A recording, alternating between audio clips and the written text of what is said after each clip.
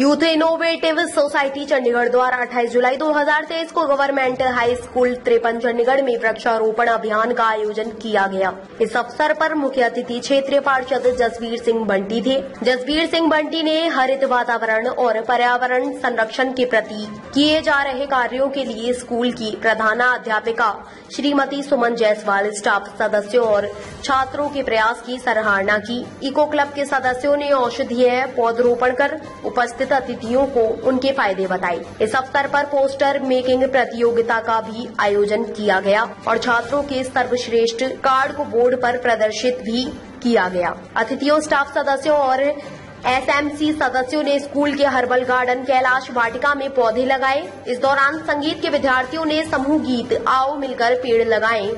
से सभी का मन मोह लिया। प्रधान अध्यापिका श्रीमती सुमन जायसवाल ने मुख्य अतिथि जसवीर सिंह बंटी और यूथ इनोवेटिव सोसाइटी के सचिन को पर्यावरण में उनके योगदान के लिए धन्यवाद दिया। ताज़ा अपडेट्स व बड़ी खबरों के लिए सब्सक्राइब करें आज प्रकाश टीवी और बेल आइकन दबाना न भूलें।